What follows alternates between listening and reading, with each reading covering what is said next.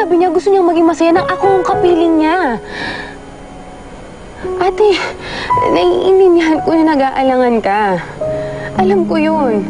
Pero sana bigyan mo naman kami ng pagkakataon na maging masaya rin. Hindi ko kaya iningin mo. Napakahirap yan, Bianca. Pues hindi ako papayag na pahiyain mo pa ako dito. Uuwi na ako.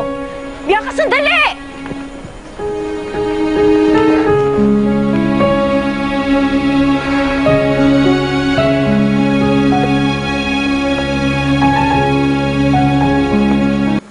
May naiiwan ka ba?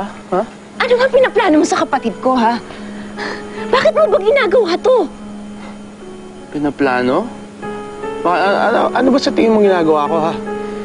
Jake, please sabihin mo sa akin na hindi mo ginagawa to para gantihan ako. Sabihin mo sa akin na hindi mo sasaktan si Bianca. Sabihin mo na mali lahat ng iniisip ko. Well, sorry, Erika, but unfortunately for you, tama lahat ng iniisip mo eh. Tama lahat ng hinala mo. So how does it feel, ha? Masakit, di ba? Umpisa pa lang yan. Brace yourself for more.